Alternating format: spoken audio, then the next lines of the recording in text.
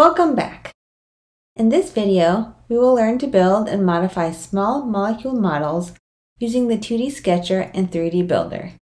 Make sure you are back in your materials underscore intro project in your materials underscore intro working directory. Let's begin.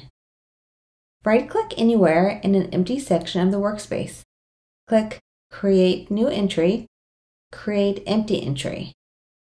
When prompted, input PPY for the entry title and click the green check.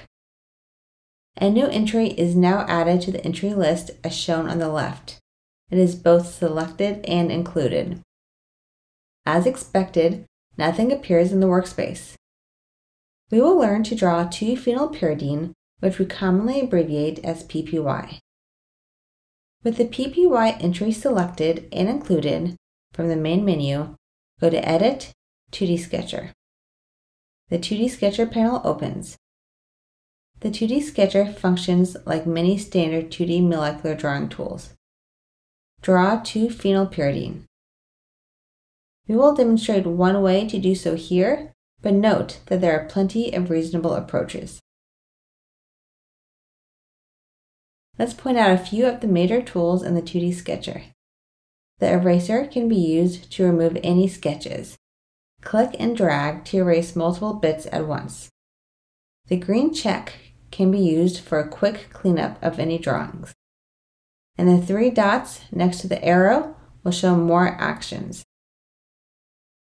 Remember that the question mark icon will take you to comprehensive reference documentation about the panel which includes a helpful 2D Sketcher training video. If you are new to 2D molecular drawing, definitely visit the help page. With your 2-phenylpyridine drawing finalized, click Update Entry and then close the 2D Sketcher. It is a best practice to always close panels when you are done using them, especially those which interact with the workspace like this one does. You will notice the 2D sketch has become automatically converted into a 3D model. We can change the display to ball and stick akin to the earlier provided structures. To do so, select all of the atoms in the workspace. Remember, there are several ways to do this. Here, we will use the All Quick Select button. Once all the atoms are selected, from the toolbar, click on the Style palette and select the Ball and Stick option. It is important to note that while this is a reasonable geometry, this structure is not optimized. Later materials will cover introductory concepts regarding quantum mechanical geometry optimizations. Our current structure can be modified in many ways. For example, you could reopen the 2D Sketcher and change this entry. In addition, there are tools for working in three dimensions.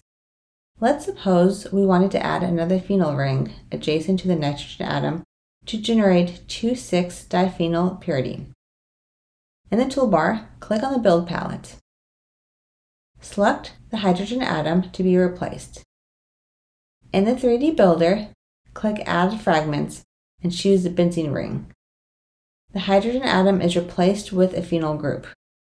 We may wish to improve the initial geometry of the structure using a force field minimization. This is also performed via the 3D Builder palette. Again, select all of the atoms in the molecule and click the Minimize Selected Atoms button in the 3D Builder. A force field is used to minimize the geometry. Keep in mind that this force field is typically a lower level of accuracy compared to quantum mechanical geometry optimizations. Also note that metal atoms are generally not parameterized for force field minimization. Again, later materials will cover introductory concepts regarding QM geometry optimizations, as well as many workflows in MS Maestro which utilize these 2D and 3D tools.